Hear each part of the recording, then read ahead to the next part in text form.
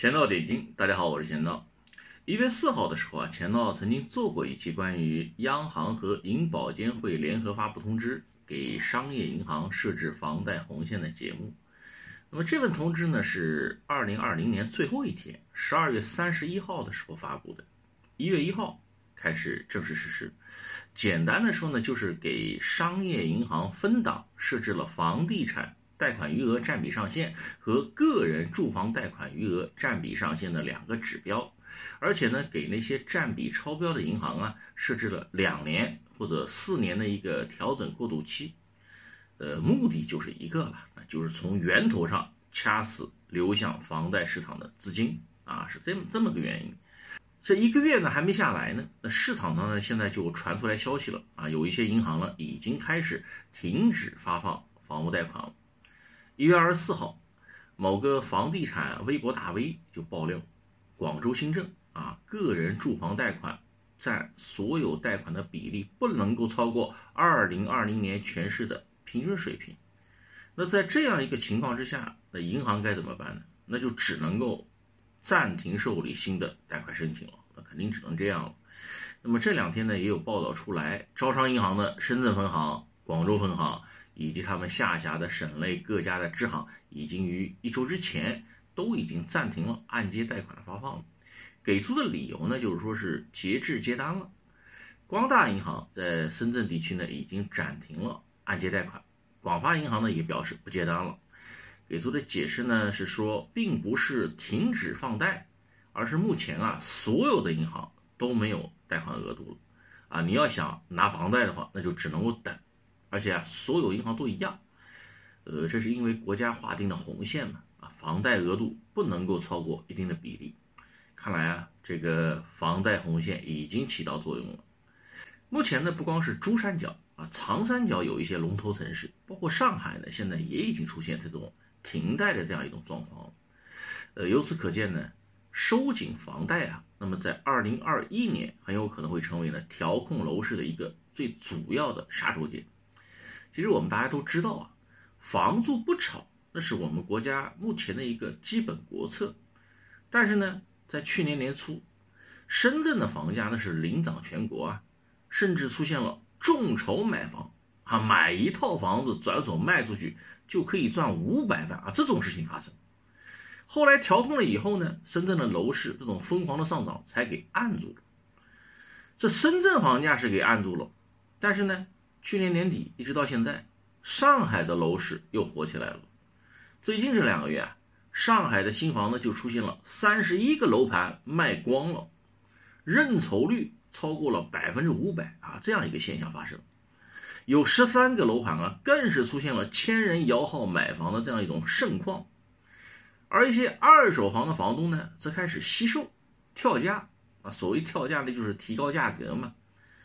有这个业主啊，一个小时就跳价四十万，啊，有媒体报道啊，有的业主一个月的时间，总共跳价涨了有两百万，给人这个感觉啊，就是上海的楼市，好像突然之间就疯狂起来了。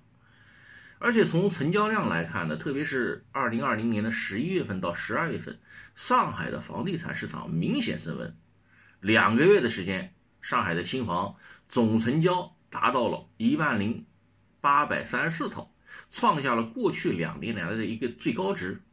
二手房的成交啊，也逼近了四万套，环比上涨百分之二十点六九，同比上涨了百分之九十六点九三啊，几乎都快翻倍了。上海楼市之所以会出现如此疯狂的上涨呢，个人觉得呢，主要有三个原因。首先，第一个呢，就是因为二零二零年三月份，上海呢颁布了新的招生政策。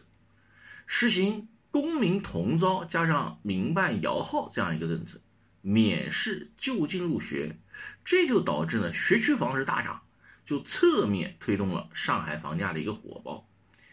第二个呢，呃，这个上海楼市啊，其实已经有三年没涨了，有些地方的房子呢，这个还是下跌了啊。相比于二零一五年到二零一六年，那上海房价在一七年到一九年这个三年呢。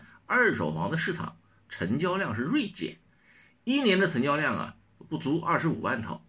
那么不过这几年来呢，上海的常住人口它是增长的。二零一六年末，上海的常住人口有两千四百一十九万，到了一九年末的话，上海的常住人口呢有两千四百二十八万。那人口增长了，自然也就会滋生出更多的住房需求嘛。所以这三年呢，深圳房价它是大涨，但是呢，上海基本上是下跌。这就意味着啊，它有不少的买房需求啊，在这三年是给压制了。那么二零二零年底，二手房成交量上涨。应该是过去这几年这个房屋压制的这个需求啊释放以后的一个结果。第三个原因呢，钱涛个人认为呢是比较主要的一个原因，就是通胀的一个压力问题。因为二零二一年呢，大家都知道属于通胀之年嘛，全球放水，货币超发。那其实不管是咱们中国还是美国，全球每个国家现在都面临着通胀的问题。那么很多人就认为买房子可以保值啊，啊，就推动了上海楼市的一个大涨。啊，因为这三个原因，就导致上海的楼市是一飞冲天啊，直追深圳楼市啊，看上去是热的发烫。但是这个时候呢，一瓢凉水就浇下来了。一月二十一号晚上，上海市住建委、市房管局啊等八个部委联合印发了关于促进本市房地产市场平稳健康发展的一个意见。那么从二零二一年一月二十二号起开始实施，核心的措施呢，主要是有以下几条。啊，首先第一个，严格执行住房限购政策。夫妻离异的任何一方，自夫妻离异之日起三年之内购买商品住房的，其拥有的住房套数按照离异前家庭总套数来计算。这就把那些假离婚的啊买房的这种路给堵上了。第二个呢，就是调整增值税的增免年限，将个人对外销售住房。增值税的增免年限从两年提高到五年，这个应该是用房子的增值税调控上海的房价。第三个呢，就是严格执行差别化的住房信贷政策，实施好房地产贷款集中度的管理，加强个人住房贷款审慎的管理，指导商业银行严格控制个人住房贷款投放节奏和增速。防止突击放贷，引导商业银行进一步加强审贷的管理，对购房人首次资金来源、债务收入比加大审核的力度，严防信用贷、消费贷、经营贷等等一些资金违规流入房地产市场。那这一条其实就是落实了央行和银保监会收紧。房产信贷的措施来控制房价嘛，就从源头上掐死了炒房的资金了。那么第四个呢，是完善新建商品住房公证摇号选房制度，优先满足那些无房家庭自住购房的需求。那这几条上海楼市调控新政出来以后呢，应该说这个力度还是很强的，也直接就体现了国家严格禁止炒房的一个决心嘛。而且啊，一月二十五号的时候。上海市房管局又表示，上海的法拍屋将会纳入限购的范围。购买法拍屋需要具备本市的购房资格。这是上海的法拍屋首次被纳入了限购的范围。以前法拍屋这一块那是很容易绕过限购政策的，是限购政策的一个漏洞。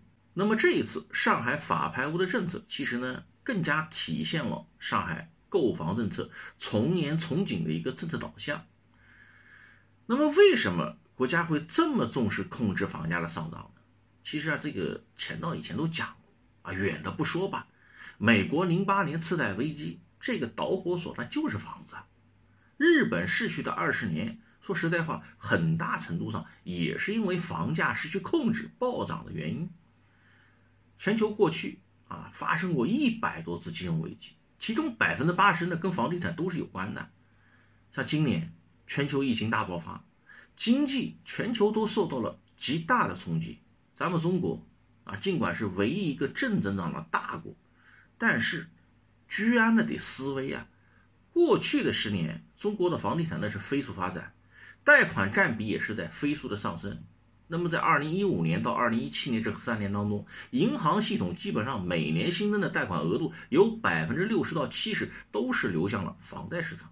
那如果说房产投资过热的话，那是不是会发生系统性风险，尤其是当前啊，全球经济都在遭受严重考验的当下，那中国那必须要守住不发生系统性金融风险这条底线呢。而且，二零二零年啊，中国咱们中国这个 GDP 是突破了一百零一点五九万亿，这个呢是非常好的。但是呢，咱们这个消费占到 GDP 的比重却是下降了三点四个百分点。你房价过高的话，那就会掏空居民仅存的一点储蓄啊。居民家庭的存款可支配收入那是有限的。如果说大家啊都把钱全部拿过去炒房子，那这个消费肯定就会非常的疲软，肯定就会不利于消费内需的增长了，也不利于国内的这种实体经济的复苏了。其实经济的良性增长啊，那应该是消费和制造业投资啊这两块来拉动，那不是靠房地产来拉动。咱们中国的话，只有完成从生产型社会向消费型社会的转型，那才能够使家庭收入的增长能跟上 GDP 的增长，那经济增长才能够更健康，基础也才能够更加的稳固。这个时候，咱们中国才能够说啊，真正的成为世界第一大经济体。最后呢，这个钱总还是想讲一下，二零二一年，老黄历真的应该要翻篇了。房子呢，那是用来住的，所以呢，咱们不要以当房奴为荣。有房子其实并不代表赢得了人生。一间格子楼不值得咱们耗尽自己的积蓄，透支自己的未来。感谢大家收看，咱们下期再聊。